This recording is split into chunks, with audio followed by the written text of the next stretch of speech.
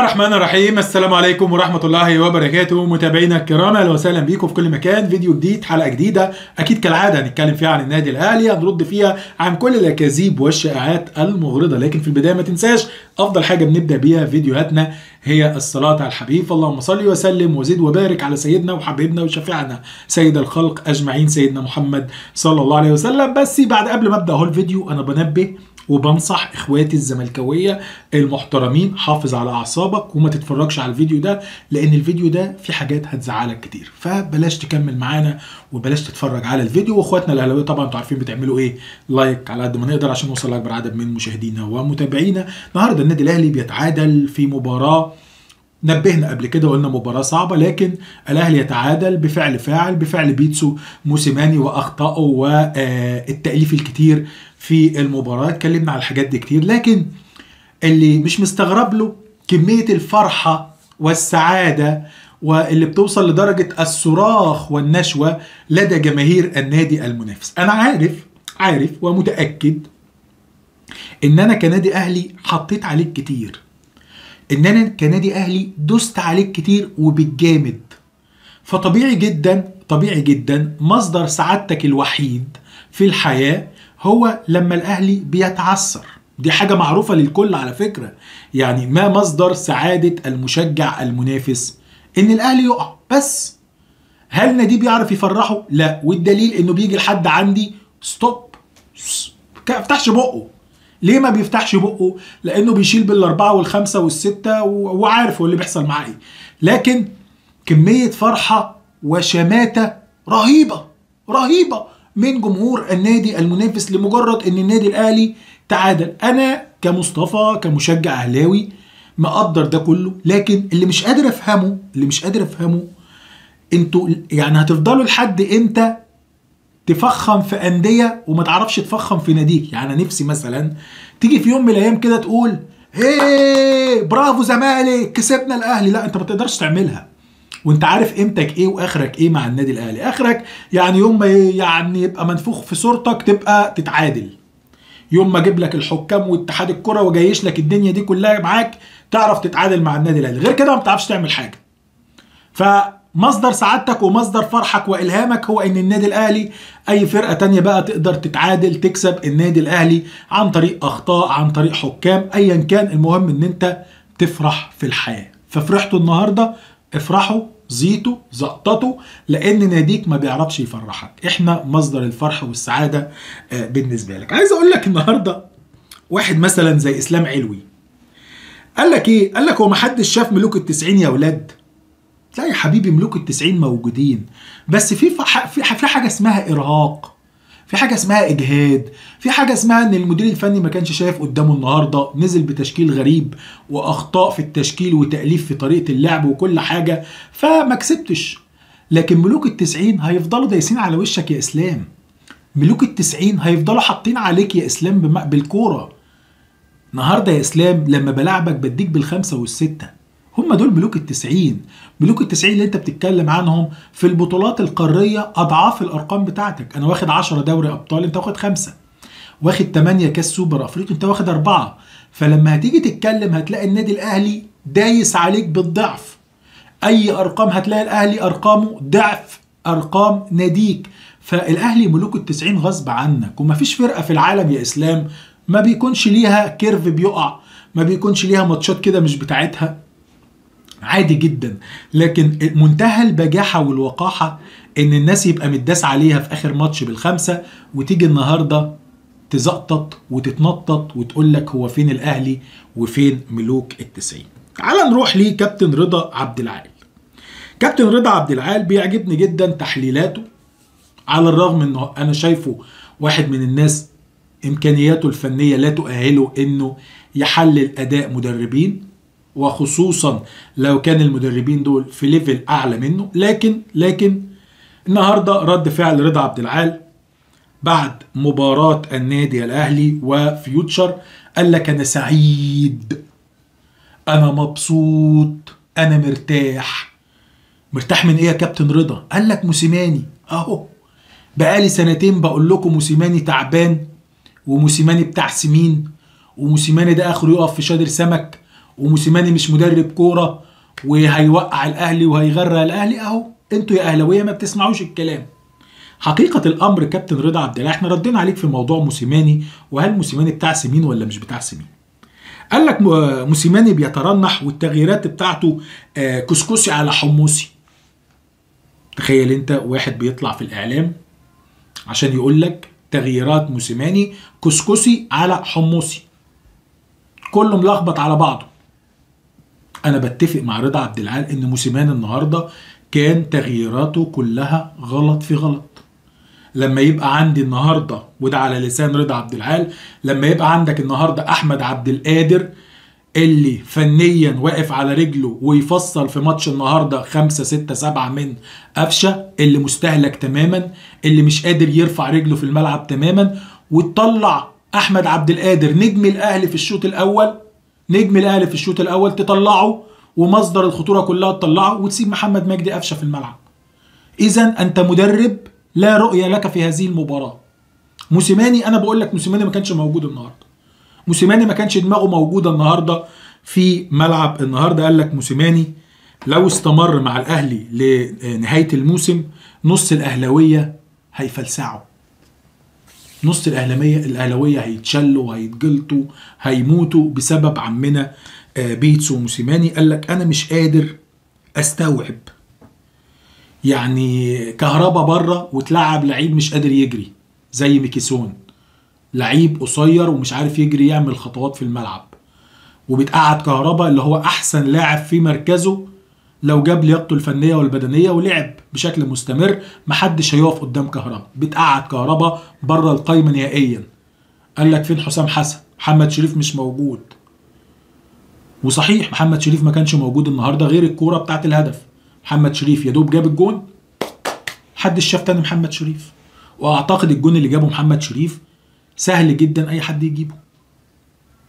مهاجم بإمكانيات محمد شريف كان استحالة يضيع كورة زي بتاعة النهارده الهدف بتاع الأهلي في فيوتشر عايز أقول لك كمان النادي الأهلي النهارده شوف إحنا قلنا إيه؟ قلت لك موسيماني وحش والأهلي لعيبة كتير كانت واقعة بدنيا وقفشة كان وحش ولاعيبه كتير مش موجودة. ولكن بالرغم من ده النهارده النادي الأهلي له كورة فيها ضربة جزاء واضحة. الكرة بتاعت أكرم توفيق. اللي أنا بسأل أكرم توفيق يا أكرم يا حبيبي الكرة مش روح وقلب ومعفرة وبس الكرة دماغ. كرة زي دي يا أكرم أنت مضروب فيها. كرة زي دي لعيبة الزمالك بتتنشأ على نصها. ما تشوفوا يا أخواتنا لعيبة الزمالك بتعمل إيه؟ لعيبة الزمالك محدش بيلمسهم ما بيصدق بس لعيب يقول له بخ. بخ! يروح رامي نفسه في منطقة الجزاء ويستموت. أنت النهارده كريم ندفيد ما لعبش الكورة أصلا ما لمس الكورة. وداخل بالاسترزات في ركبة أكرم توفيق. خلاص يا أكرم استموت بقى خلاص مش لازم. مش وقت جرينتا وروح انت في منطقة الجزاء ضربة جزاء ونجيب جون ونكسب وخلاص. لا هقوم وعافر وأكمل في الكورة. ليه؟ ليه؟ اقع زي ما اللعيبه ما بتقع. ده انت النهارده في الشوط الأول بالكرة بتاعت محمد الشناوي لبس انذار بالرغم إن هو ما لمس لاعب فيوتشر اللي هو أحمد عاطف. شفت أحمد عاطف استموت إزاي؟ كأن واحد ضربه بالنار بقناصة من الملعب. آه وراح رامي نفسه. ما رضيش يقوم عشان يلبس الشناوي طرد مش انذار. فأنت النهارده الكورة بتاعت أكرم.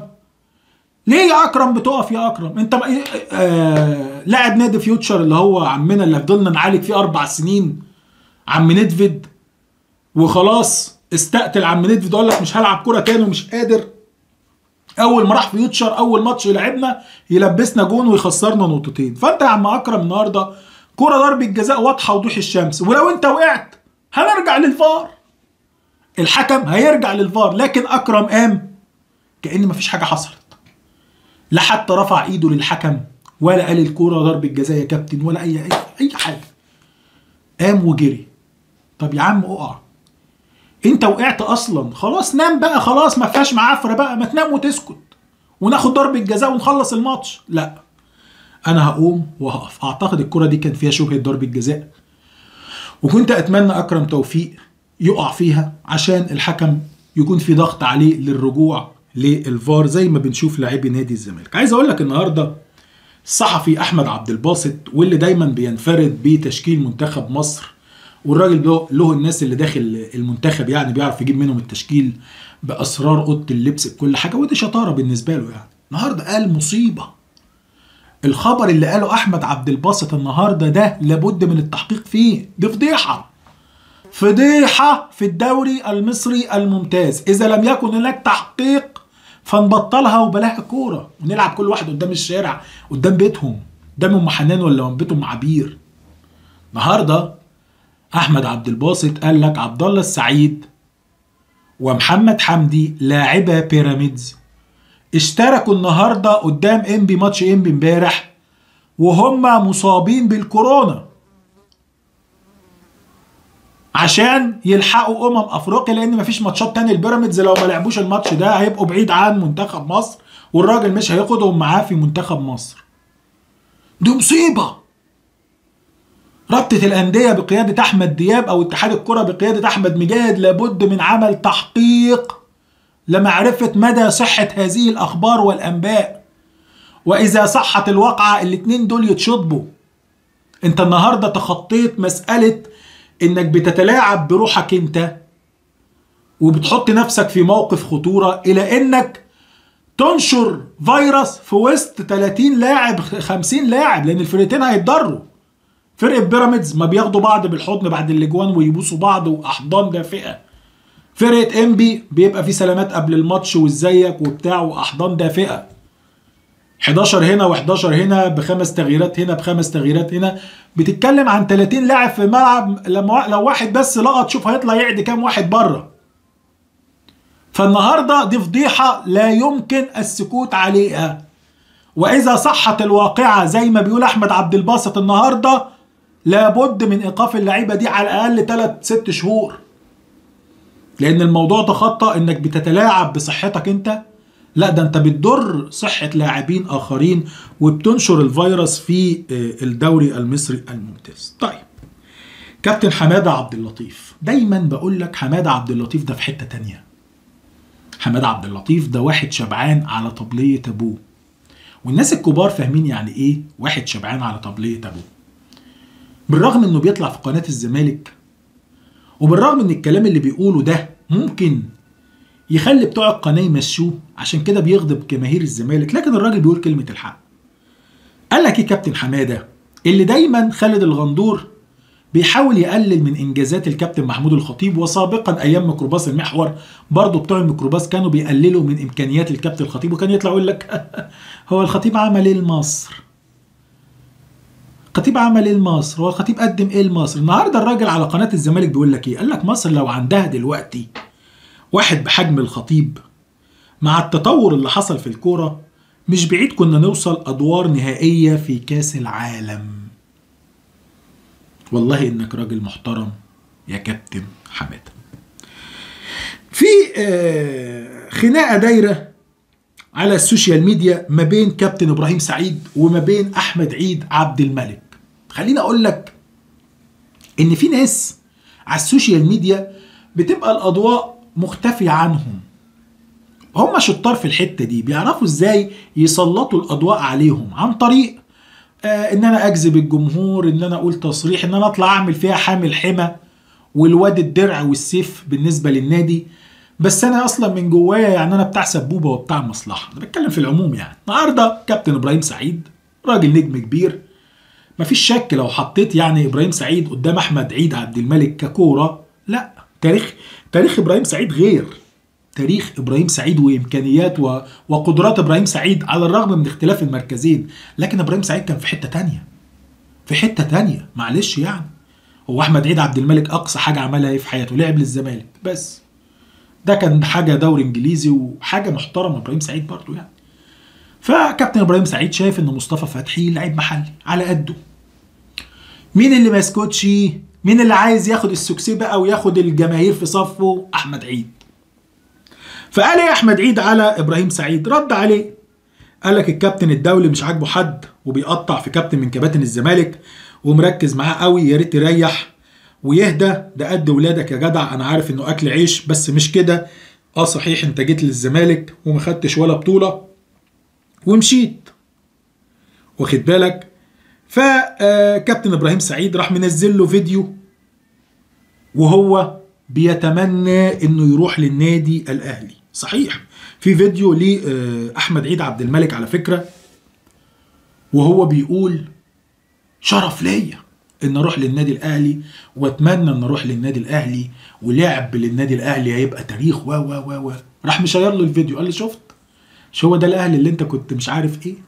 ففي صراع وفي تنافس على ال social media ما بين إبراهيم سعيد وما بين أحمد عيد عبد الملك. طبعا جمهور الزمالك وصفحات الزمالك واقفين في صف أحمد عيد ونازلين شتايم وهتك يا صور لإبراهيم سعيد والرقاص ومش الرقاص وشغل قلة أدب والخمرجي ومش الخمرجي. منتهى قلة الأدب إنك تحول صراع شخصي ما بينك وما بين شخص إلى كلام في الأعراض أو في الذمم أو في الحياة الشخصية.